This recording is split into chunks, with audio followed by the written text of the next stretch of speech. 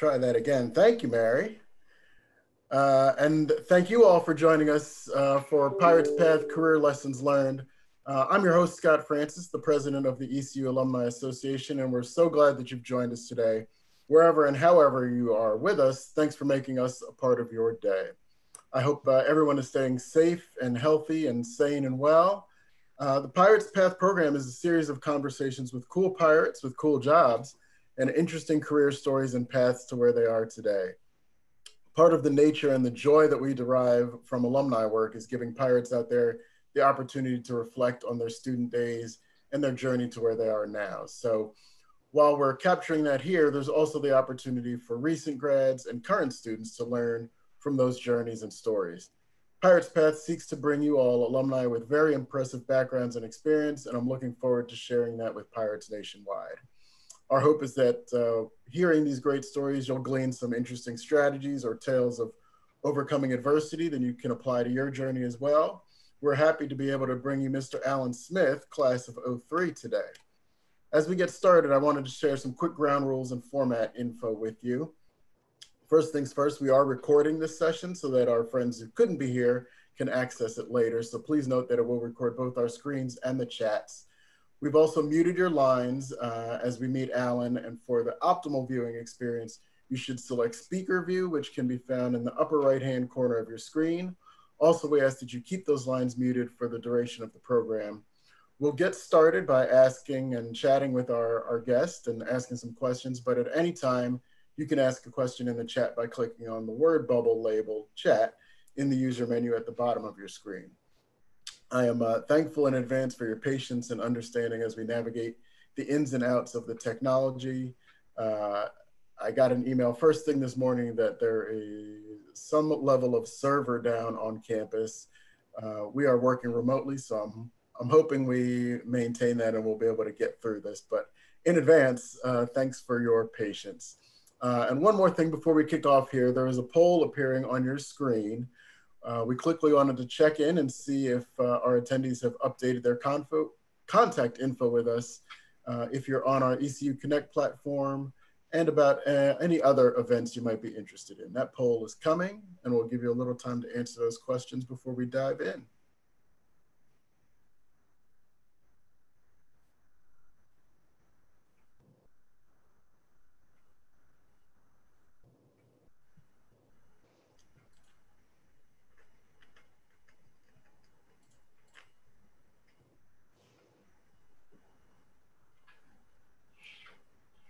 All right. Now it is my great pleasure to introduce our guest speaker on Pirates Program. We are joined today by a great pirate and even better friend, Mr. Allen Smith. After graduating from East Carolina University with a BS in political science, Allen was appointed to serve as town clerk for the town of Bethel, North Carolina. Allen currently serves as the president and CEO of Spartanburg Area Chamber of Commerce, now known as One Spartanburg, Inc., this is the only organization in South Carolina in which the business, economic, and tourism development functions coexist under one umbrella. Allen credits the support of his personal and professional mentors for reaching many unimagined professional heights in his career. Allen, thanks for joining us here on uh, Pirates Path with ECU alumni. How are you? I'm great, Scott, and thank you so much for having me. Mary, uh, Scott gets to do all the talking, but Mary really set it up, so I want to thank her for having me as well that is uh, the story of the alumni association. yeah. bunch of uh, bunch of people working hard, and I get to smile. right. I uh, I suppose, given the situation globally, and uh, we all watch the news, I'd be remiss if I didn't ask, uh, how are you, and what's what's been li- what's life been like for you since around March fifteenth or so? Well, uh, we're in day 183 from working from home. Uh, we entered into a phased uh, process of returning to the office a few weeks ago. So uh, we have 22 staff, um, seven of which uh, are in the office at one time, and then the, of course the other 15 are, are working from home. And so um, that's kind of been our recent change, our, our recent transition, uh, just like everybody else. Uh, the world changed in March. We've been incredibly blessed in Spartanburg because our economy has weathered this really well. And, and, and this group didn't log on to hear all kinds of economic data points, but suffice it to say, uh, we're still going to have a very good year in terms of new investment, new job creation. Uh, of course, we've lost some small businesses, but on the whole, on the macro level, uh, this community is performing incredibly well. Um, we're poised to do about 360, 370 million dollars in investment this year, which basically means new new companies, new businesses, new industries coming to Spartanburg County.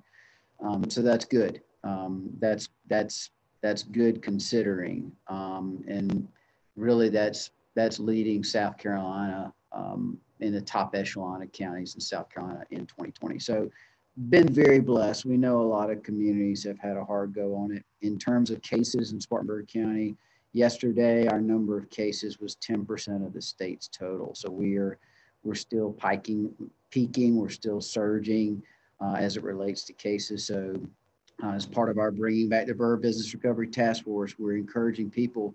If you want to see the business community return, you got to do the things that everybody's telling us to do: social distance, mask, be smart, wash your hands, practice common sense. So, uh, so far, so good. I have a three year old and I have a one year old, uh, both girls. So, working from home for me is not going to happen. Uh, I come to the office every single day and have from the very beginning. Um, I tried it uh, one day, and I guess it was probably 10:30 in the morning. I was on a Zoom call, and my three year old came through the door like the SWAT team. And so I knew then that I was going to need to come to the office every day. And so I've been here uh, every day since. I can tell you who has the best snacks in their desk drawers, who has the best candy. Um, because when you're here by yourself, at least I was probably for four or five months, uh, you get a little desperate. So thank you for asking, but but but all good, all healthy. Awesome. And uh, oops, well, we've, we've talked about you're in Spartanburg now, and we'll get back to how you how you got there. Uh, but first, want to kind of check in on your origin story. So, live and working in the greater Spartanburg, South Carolina area.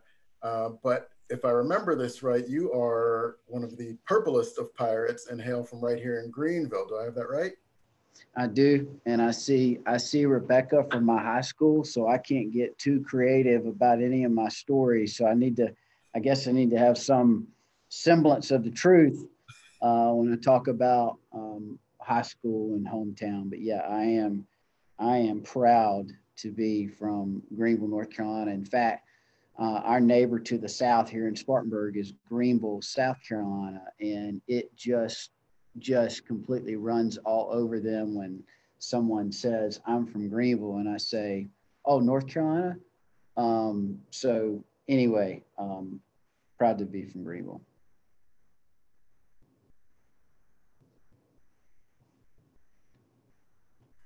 What high school did you graduate from?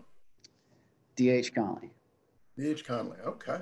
Spent spent a year. Actually, graduated graduated from South Caldwell High School right outside of Hickory. Spent about a year away from Greenville. Um, it was actually my senior year in high school or so, and then came right back to East Carolina. Okay. So growing up, I knew maybe a handful of, of kids who grew up knowing exactly what they wanted to do with their lives.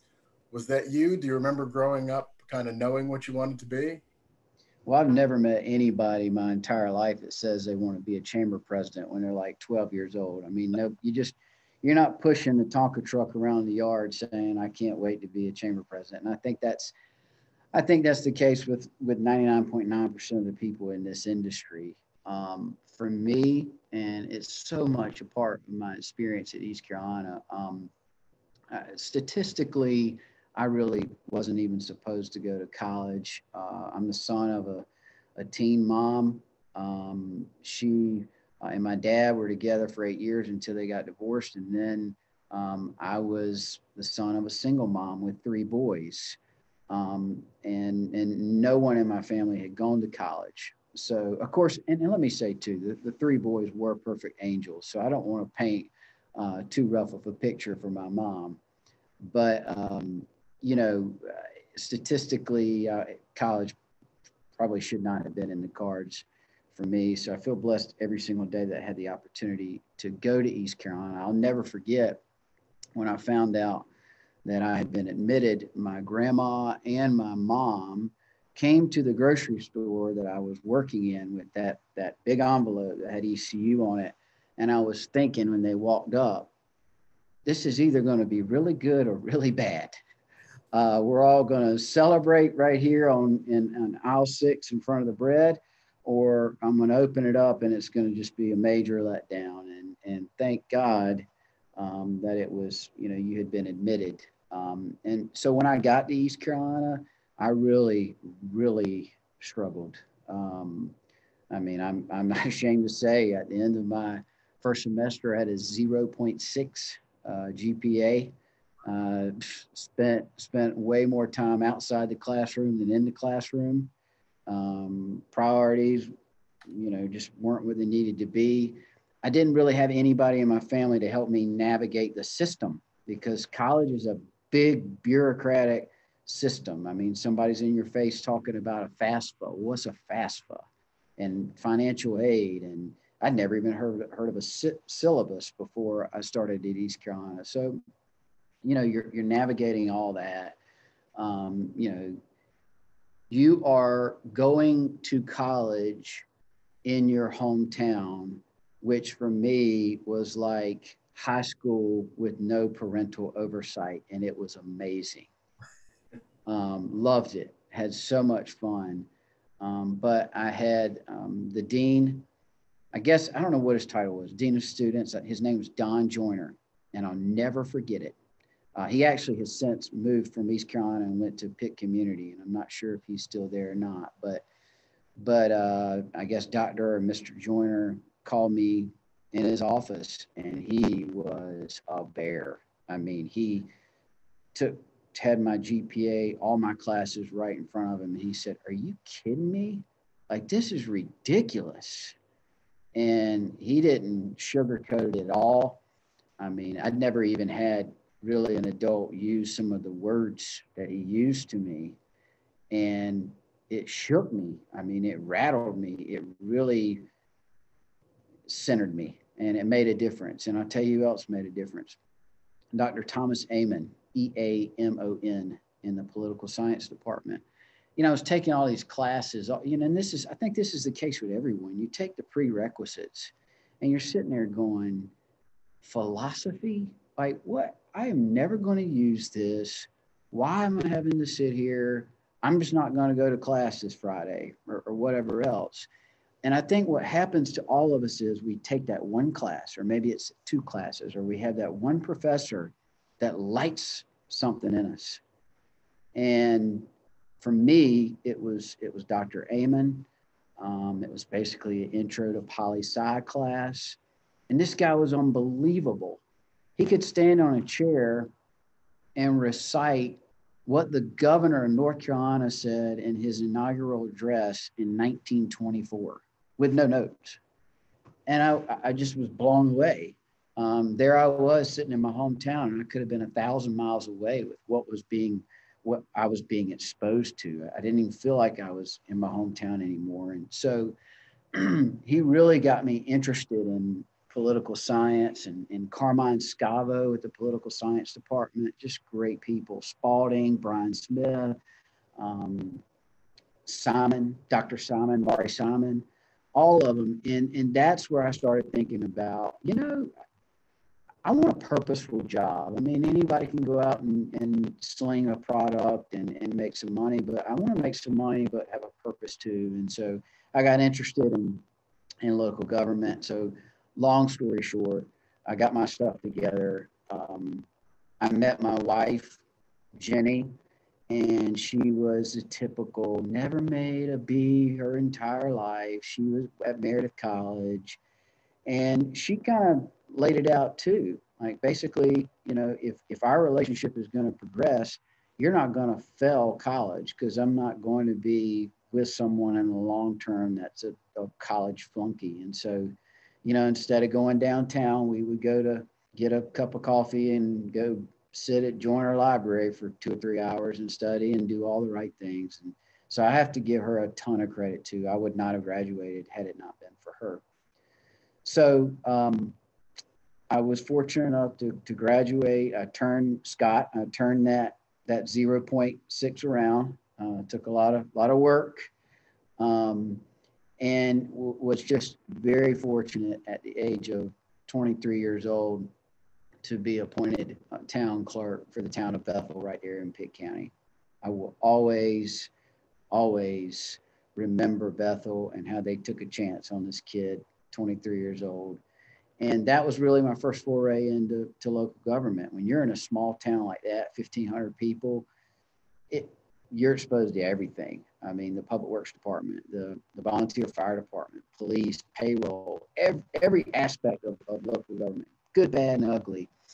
And enjoyed it, really enjoyed it. And then had an opportunity to, um, I saw an opportunity to come back and, and, and take a leadership position with the Greenville Pitt County Chamber of Commerce right there in Greenville. And uh, I was way underqualified. I didn't think I stood a snowball's chance in getting that job. And that's the kind of job you should always apply for. You should never apply for a job where you say, oh, this would be, I should get this easy, you know, this is a lateral move or whatever. And so, long story short, got that job, was continued to be elevated in that position, and then was fortunate enough to be hired as president CEO of the Greer, South Carolina Chamber of Commerce. Greer is the second fastest growing city in South Carolina, right in between Greenville and Spartanburg. Was there four or five years, and then made my way to Spartanburg, which is the only consolidated business economic tourism development organization in South Carolina. Uh, we're a county of 330,000 people, home to seven colleges, home to BMW plant Spartanburg, where they produce 1,400 BMWs every day. So literally, a BMW X series rolls off the line every single minute at BMW plant Spartanburg. So very blessed to be here. That's that's the whole track right there. Excellent. And uh, let me back you up because I, I've it wasn't the dean of students that did it for me. I I had a rough uh, first go of it. Not not quite 0.67 rough. That's a great ERA, but I had yeah. a rough, yeah. rough go of it at first. And uh, my kind of moment was uh, there were a bunch of guys that I hung out with that were all fraternity brothers. Their fraternity chapter was suspended and coming back on campus, and I was interested in being part of that new class that relaunched them. And uh, came from a meeting one night, and he pulled me aside after it and just could gave me the business about uh, you're a nice guy. I enjoy hanging out with you. If I had to put a bid today for you to restart this chapter and do it the right way, you wouldn't get the bid uh, because of X, Y, like totally hit me with some truth bombs. And so that was that was my moment of, oh, okay, I need to turn this around. This is what other people are seeing in me. Nice guy wouldn't want him to be involved in anything like serious that I'm doing. Uh, and so yeah. for me, pivoting and, and kind of making those changes, yes, my brain wanted to do it, but I had to actually find the discipline. So, well, you mentioned your, your now wife as, as part of that like new structure. Were there other things you did structurally to kind of get your nose onto that grindstone and keep it there? Time management's everything, and it's still everything. I mean, it's the only thing we can't buy um, you can literally watch it fleeting. Um, and so you just got to manage your time and you got to prioritize. And everybody says that, and it's kind of the cliche thing to do. But sitting there on Facebook, you eat up 22 minutes like that, and you never know it. Um, little things like that add up, and and I, I mean I use social media as a as an example, but we can all think of ways in which we mismanage our time um, you know, and part of as you as you mentioned, you know, your peer group. You mismanage your time when you're hanging out with people that aren't bringing you up. Yeah, absolutely, absolutely. So uh, I want to hit one last thing about your student days. Uh, Saturdays in the fall. What was your? Did you have a routine? Did you have a typical home game game day routine and being from Greenville, that might be totally different than than somebody else. Well, you know, so so so growing up, we didn't necessarily you know, have the means to go to every single game. I would have the opportunity from time to time to be able to go with a friend. Um, and when my mom remarried, you know, I was able to go to, to more games. Um, and so for me, it's the game is not complete without B's Barbecue. I just, I am obsessed with it. Uh, every time I go back home, I go to B's Barbecue, sometimes twice. Um, just absolutely love it. I got a big kick out of their COVID protocols last time I was there. That was interesting approach. Um, so yeah, and then I'm I'm always the I'm the I'm the purist when it comes to East Carolina football. Don't don't come in halfway through the first quarter. You know, don't leave. I I think that we we have the greatest national anthem rendition. I love at the very end where it gets real quiet and you can tell you're taking somebody to the game for the first time and not expecting that cannon. And I like to see them get scared out of their mind as soon as the cannon goes. I don't miss that. I don't miss Purple Haze. I mean, I'm there 30 minutes before the kick because I just love the pageantry and uh, you know, I, I, try to watch warm ups as if I'm like Herb, Kirk Herbstreit and I'm, I'm saying, oh, Morgan Ayler's, you know, looking, I don't know how he's going to play today and have no idea, but I'm just, that's kind of, kind of my routine. You know, a lot of, a lot of my friends or whatever, they, they come into the game, you know, on two wheels, last, wait to the last second and arrive like two, they may have missed the first two drives in the first quarter. I don't do all that. And I stay, we can be down we can be down by 40 points. I'm going to watch them raise the, the no quarter flag in the fourth quarter. I'm not leaving, um, especially now, you know, living five and a half hours away. If I make it to a game, I'm, I'm staying for every single second of it. I hear you. And a pivotal, pivotal moment in my uh, girlfriend at the time, now wife of over 10 years, was uh, at a different place, but uh, we were packing up the tailgate five minutes before kickoff, and we're right outside the stadium packing up. And she showed up with her friends uh, to the tailgate and just looking at us all like we're crazy, going, "Where's everybody going?" And I said, "Kickoff's in like five minutes." She was like, "Oh, you go for that?" Yeah. I was like, yeah. "You don't?" yeah. She said, "Oh, well, I usually kind of saunter and make sure I get there for the beginning of the fourth quarter, and then we kind of leave shortly after that. And like for a brief moment, I was like, I don't know if this is going to work out. I get it. I get it. Yeah. I also like to, since I'm not able to make every game now, I like to to to mute ESPN and listen to Jeff Charles call the game, which is kind of odd because sometimes, you know, with internet TV, he might be way ahead of where they are and, and sometimes they might be behind of where he is. So it's kind of difficult to follow but i mean you gotta love jeff charles and how excited he gets um, when you hear him call a game. It's the best. Yes. Yes uh, and you know can't, can't beat that last game of the year but I, I used to have a stand all game never leave early policy uh, that at some point the stand all game thing, I reached a certain certain mileage on the knees uh, that kind of stopped that, and then I reached a uh, upgrade of seats that no longer allowed uh, the people around me no longer allowed that. yeah, oh yeah, yeah, yeah. I get that. So I'll, I'll, sit, but I stand when appropriate now. Um, but it, yeah, it's I, I, always find it interesting people's traditions and kind of how they how they digest uh, their football differently. And so I appreciate you sharing that with us.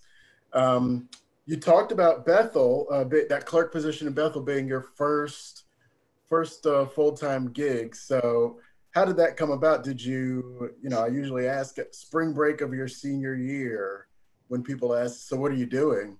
Uh, next year was that was that a, a fun question or were you still kind of up in the air at that point so I was I did four and a half years. So I actually graduated in December, and then May is when I started in Bethel. So come December, I had no idea. I mean, I had the typical college job. I worked at a law a law firm as an intern, and and let me say too to those that are listening, um, sometimes the greatest internships or the, the greatest jobs you can have in college are the ones that tell you what you don't want to do. Um, And, you know, I, I have very grateful for the experience at the law firm, but it, it really told me I do not want to do this because typically the track is political science, law school, attorney. And, you know, I just, so, so anyway, it was December. I didn't have any, I didn't have any opportunities. Of course, I was applying for things left and right. And um, the Bethel opportunity came up. I applied. And it, you talk about a first real interview. You interview in front of the mayor and the town commission. I mean, so it was uh, six, seven, um, no, five, five town council people and the mayor. I mean, and they were up there on the platform, and I was in a steel chair sitting down below them looking up. And that's how the, that's kind of how the interview went. Um, so I haven't had a harder one since then. Um, but yeah, that's how that all came about. You're ready to interview to be a Supreme Court justice. That's... Right, right, right. Same, same kind of setup. okay, so you did Beth. How long did you do the uh, the role in Be- uh, Bethel? I was there two years. Two, two years. years. and somebody lured you back to uh, back to Greenville, Pitt County. Yeah, well, Bethel's in Pitt County, so it's just it's 14 miles up the road from Greenville. So I never left. I mean, I never really left Pitt County. Um, but yeah, I, I saw actually saw an opportunity um, at the Greenville Pitt County Chamber of Commerce, and um, I think I think the role was director of operations. And so, like I said before, on paper, I looked at it and said, "Oh boy, I you know I don't think I'm qualified for this," but I I shot it out there and um, had an opportunity to interview at that time, she was Suzanne Sartell. Now she's Suzanne Sartell Pretty. Um, talk about somebody that had an impact on my life as well. We can talk about that. But um, interview with her, um, and um, it was great. I, I worked there. Uh, let's see, five years, and then had the opportunity. I, I got a call from Greer and um, was not open minded at all. I mean, I just I was in my hometown. Um, I all my family's in Eastern North Carolina. Um, I had no no desire whatsoever to leave and especially go to South Carolina because in North Carolina we, we kind of think we're a little bit more distinguished than South Carolinians, right? Um, and so I was like, yeah, South Carolina, I'm good. And long story short, uh, a great friend of mine, one of my best friends, Tony Cannon, he's actually the CEO of Greenville Utilities. Uh, he came to Greenville Utilities from Greer. And they reached out to him and said, We're trying to get this guy to apply for our job. He doesn't seem to be interested. And do you know him? And Tony said, Yeah, I know him quite well. And so it also speaks to the fact that there's things happen for a reason. There's a bigger plan out there than, than any of us will ever understand, but it is at work. Um, and so Tony told me, um, he said, and this is great, great advice too. He said, he said, what do you think are the two most important things in terms of advancing your career? And I said, well, I guess, you know, maybe a maybe a good solid interview and a good solid resume. He said, exactly. And how often do you freshen up either? And I said, well, wow, you know, I guess only when you really have to. And he said, yes. So why don't you just freshen up your resume, freshen up your interview skills and consider it, you know, a, a, development experience. Go down there and meet those people and just do it for the experience. You'll be better. And then he ended with, if they know you like I do, you're not going to get the job anyway, so it doesn't matter. Um, that's a good friend, right? So um, I went down there and, and you know, it just completely blew my mind as to as to what was happening there and the growth trajectory in that community and you know, one thing led to another, and I ended up getting the role there. And how long have you been in, in that role? Well, in Greer, I was in Greer for four years, about four and a half years. And I've been in Spartanburg now for six. Six. Okay. Okay. So here's the the question we I think we asked this at uh, some of our early uh, Pirates Path sessions, and uh, we kind of reflected on it. Said, "Oh, that puts people in a weird place to ask them what they want to do ten years from now." Um, but if you talk a little bit about uh, career development, advancement, where what would you like to be uh, doing? How do you see your career, career progressing in, in the next five to 10 years, assuming we can come out of the house at some point in there? So great. I mean, it's a great question. Um, I'm in a different season now. I will tell you that, and that, wow, that makes me sound like I'm 80. Uh, but, you know, I think when you're in your, your 20s and maybe even your 30s, and I'm, I'm still in my 30s, let's be clear. Um, I think you're just, at least me, I was doing everything I could to get up the ladder as quick as I could. I mean, every move was was made with the next move in mind, and the next move in mind, and the next move in mind. Um, now I'm I'm more of the mindset of, you know, I'm going to do the absolute best job I can do all day, every day here. And if other opportunities come around, then great. But I'm not at a point for the first time in my career, and I think it that illustrates how happy we are here. I'm not out actively seeking, and I'm not actively out there positioning either. Um, with our model and the scope that it presents, I have more than enough on my plate. I have many, many challenges, um, but so many opportunities too. Um, so, you know, and I, I, I think one of the questions was quotes, and one of my favorite quotes is, if you don't do more than what you're paid to do, you'll never be paid more for what you do. And so, you know, they've taken great care of me here because I mean, I try to try to go with that mantra every day. So where will I be in five and 10 years? You know, I hope I'm the best husband. I'm the best, best dad ever. Um, quite honestly, that's best priority. Um, but I hope I hope that my board still has me here and we're we're killing it. Excellent. Excellent. And that wasn't a political answer. I mean, that's that's truly uh, legit. Um, last summer, um, I really had a, an incredible, both professional and emotional pull type opportunity, and um, it really illustrated to my wife and me how much we like it here because we passed on it. Excellent. And I, I did, this is how I knew I was getting old. I was having a conversation with a former staff member a few years ago, and they asked me what my dream job was, and I said, "Oh, that's easy, center fielder for the New York Yankees." Uh, and I grew up, I was a shortstop, and the Yankees had some guy at shortstop who's the exact same age as me. Mm and it just you know there was no room for me to move up because of him. uh, but I said, right. yeah, my dream job is to be with the New York Yankees. And she looked at me and she said, oh, like in the front office, right? And I was yeah. like, oh. I've reached yeah. the point where actually having a glove on just isn't even in the car. Mm-hmm. well, humble pie. Yes, yes. Uh, so typically, my answer to what's my dream job is I don't dream about work a whole lot. So, mm-hmm. Um, so it, again, if folks have questions, please put them in the chat. Um, we'll start to wind down here with your time with us, but uh, can you tell us any parts of your path thus far that were harder than you expected? And that could be a specific class, an exam, a part of your any of your jobs.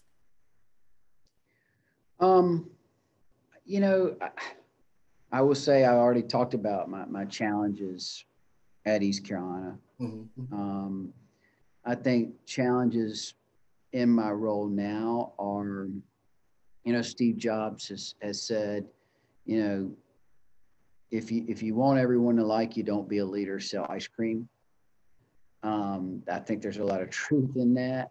I think there's truth in um, there's a lady here uh, who's CEO of our mobile Mobile Meals Spartanburg organization. Just very wise lady, and she always says even Jesus had detractors. And so, you know, if you're going to be in a leadership position and you're going to make moves, uh, and you're going to move whatever organization it is that you're leading forward, you are going to have some people that are going to be um, questioning you. They're going to be doubting you. They're going to say this is the wrong direction or your priorities aren't in order and so on and so forth.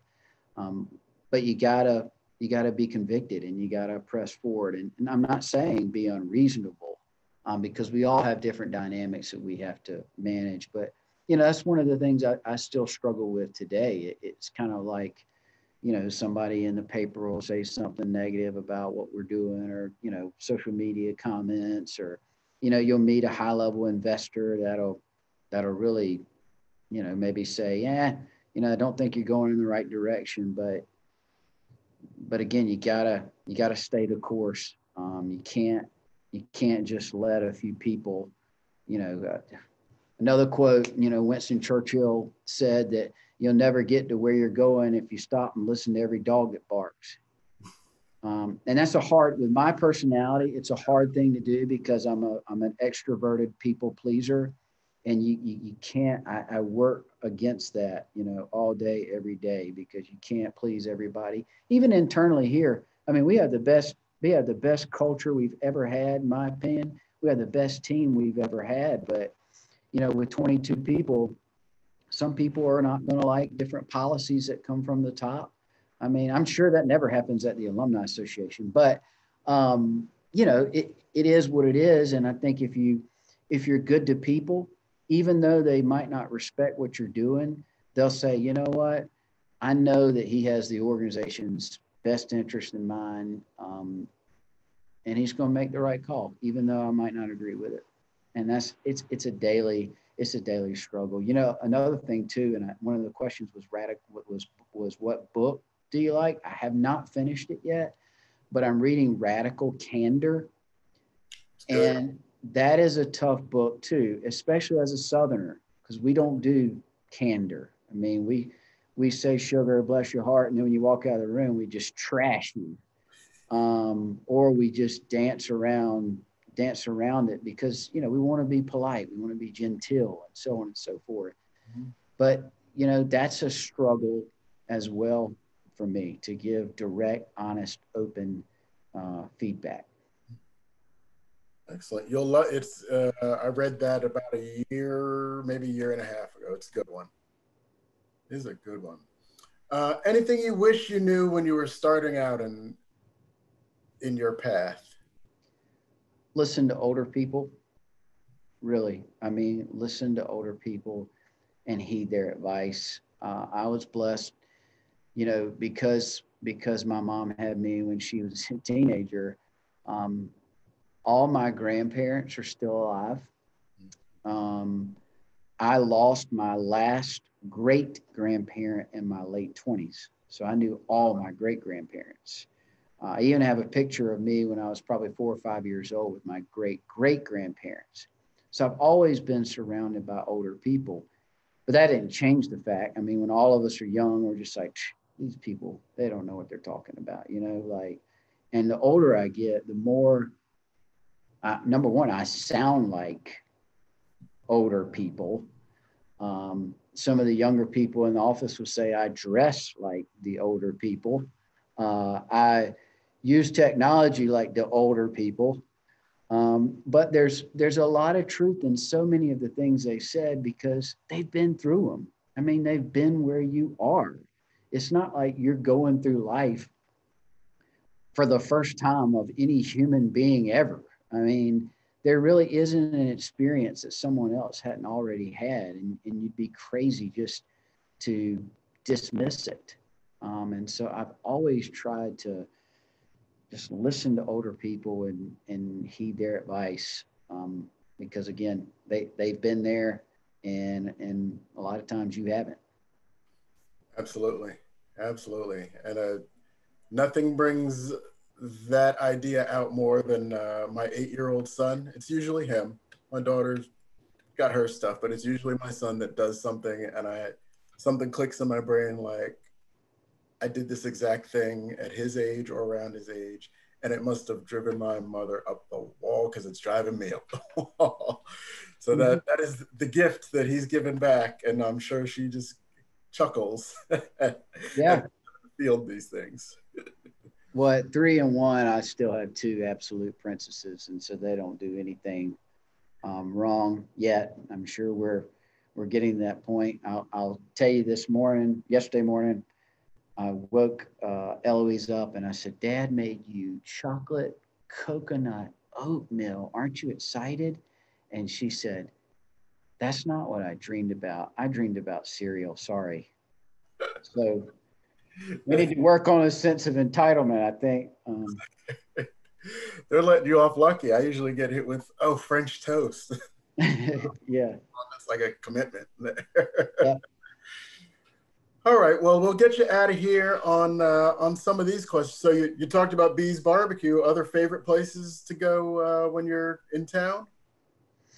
I like Sup Dogs. Of course, I mean that wasn't a thing um, when I was in college. And the shrimp tacos at Chili's, uh, Chili's, good grief, Chico's. Uh, shrimp tacos at Chico's. It can't be. I mean, Chico's is a staple.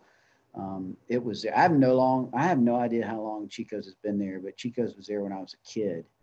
Um, so I, I love Chico's.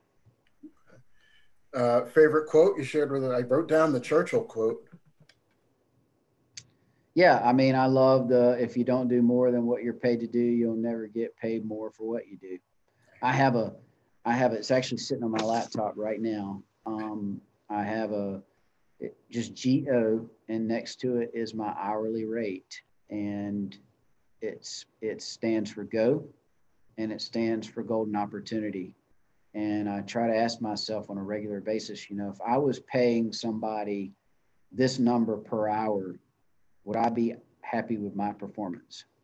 Because again, I mean, it's human nature. You know, you you mismanage time, you might loaf a little bit, and it's just a continual reminder and motivator to me that this community is investing X in me per hour um, to perform, to deliver. I mean, there's people, there's somebody right now in Spartanburg County that doesn't have a job and doesn't have an economic opportunity. And if we bring company ABC to town, they will. I mean, that matters. Actually, I like that. Love that. I uh, as as a big sports fan, I've often said, you know, you watch Sports Center and the highlights uh, in the evenings, and I've often said, what if my highlights or or my day was televised, uh, and it, you showed the highlights of my day, and some anchor was talking over your performance today? Would you be proud of that? So the similar kind of mindset. What if, you know, if, everybody could see what you were doing? Is this the the effort and the product that you want to put out there for absolutely for, yep. Love that. Uh, favorite tool that you've been using and this can be an app a kitchen tool a garden tool any anything like that? I don't first of all like a tool tool i don't use them i don't even know what a lot of them are called. Um, like we get we put stuff together and jenny says hand me the the Allen wrench, and I'll say, "What color is the handle?" Um, like I don't even know. Um, but my phone, I mean, it it is. Uh, you talk about managing time. I mean, it, but you know, it is also a tool though. It can save time too, and so I don't know if I would call it my favorite. I think in terms of recreation, my favorite probably tool right now is I got a little Bose Bluetooth speaker, and so we always like music playing at our house. Um, and right now it's, you know, Brenda Lee's rocking around the Christmas tree. It's that time of year, right? It's time. It's yep. appropriate now. Yep. Excellent. And then do you have a final word or challenge to alumni pirates or students out there? You know, um, it, it is just such a interesting, and I don't even know if that's the right word, season of life when you're going through college. Um, I never, I never really agree with people when they say, "Oh, this was the best time of my life." That's kind of sad. I mean, that, that what, so what are the rest of the 50 years? You know, like, so it was a very good time of my life, but you know, so is being a dad and and and and the joy that that has brought. So it is a season of life, and it is a very fun and enlightening intellectually stimulating season of life too. I mean, what I would give, you know, two, three hours a week just to sit in, in Dr. Amon's class again, unbelievable. Um, so work like crazy, be tenacious, um, be persistent, but but enjoy it too, because that four years, or for me four and a half, goes quick, so quick. Um, and there are days that when I'm here, I'm, I sometimes, you know, dealing with a challenge, and I'm like, what I would give to be sitting, you know, in AJ Fletcher right now, you know, listening to a, um, a lecture from Dr. Simon or, or someone else. So, you know, enjoy it. Um, and remember, um, college too is not just about what you learn, but it's about building social capital too. There's so many people that do not have social capital. I can tell you there is not a single role um, that I've been fortunate enough to get that I that I got um, because I didn't know I knew someone. I mean, every single one of them, I knew someone. I knew a collection of people that could vouch for me. That's so important. I mean, you can bury your head in the books all day long, um, and you might have a 4.0, and you might have all this kind of, you know, educational academic accolades, but social capital can get you just as far, if not further. And quite honestly, some people come from backgrounds where when they started East Carolina, they have none. They have zero social capital. And so they have to build it organically. Um, some people were born on third base and have every single social capital available to them. And, you know, even if they tried to mess up, they'd be successful. Um, so just keep that in mind as well. Awesome. Well, Allen, thank you for joining us. I really appreciate your time and uh, you sharing your, your pirate story with us. I look forward to seeing and hearing more of the fantastic things you do out in the world. And full disclosure, Allen is a member of our uh, ECUAA board of directors. And so uh, enjoy being able to, to work and connect with you on a, a regular basis. So uh, thank you all for checking in. If you want to learn more about One Spartanburg, uh, the ECU Alumni Association Board, or about Allen and get in touch with him via LinkedIn. Uh, we are placing those links in the chat uh, for your reference. Uh, we hope you'll continue to stay engaged with us both in the time of the coronavirus and well afterwards. To learn more about the Alumni Association and what we do, go to piratealumni.com. We have a ton of virtual resources out there for you during this time and other items of interest as well. The association uh, functions based on gifts from our donors. So if you are inclined to do so, please consider a gift to the Alumni Association commensurate with your ability to give and your passion. They are all certainly very appreciated. Uh, keep an eye out on our social media outlets as we have Pirates Path events forthcoming bi-weekly for the remainder, very short remainder now, of uh, 2020. Uh, you can join us again in two weeks, uh, December 17th, when we are joined by Kate Teel, uh, who's uh, president of the chamber here in uh, Pitt County, Greenville. So uh, I guess December is chamber month for us. Yeah. so again, thank you for, for jumping in and joining us. we really appreciate it. and until then, we'll see you soon. Uh, be safe, healthy, and well, and go Pirates. Go Pirates. Thank you. Thank you all. Allen, thank you. Praying for you and your family, buddy. Thank you. Really appreciate that.